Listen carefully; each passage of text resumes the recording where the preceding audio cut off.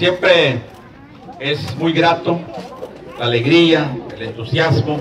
que ustedes tienen, contagia y por supuesto nos da toda esa energía y toda esa fuerza para poder seguir caminando. Hoy, aquí en la colonia Chulcá, poder haber saludado a los vecinos, a las familias, a los jóvenes, a los trabajadores, a todos los amigos de esta colonia, platicar con ellos, escuchar sus comentarios, escuchar esas muestras de apoyo, escuchar sus inquietudes. Sin duda hemos tomado nota de esas esos comentarios que han hecho con la finalidad de seguir mejorando esta colonia Chulcá, en donde, pues bueno, caminar hoy en estas calles pavimentadas, trabajos que se han hecho en la administración que me tocó encabezar.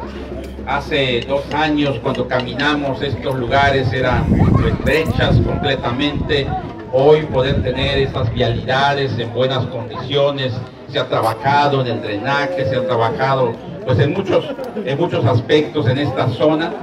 Todavía falta mucho por hacer en esta colonia, sin embargo creo que las condiciones son diferentes. Por supuesto que Tulum ha cambiado, las colonias van cambiando,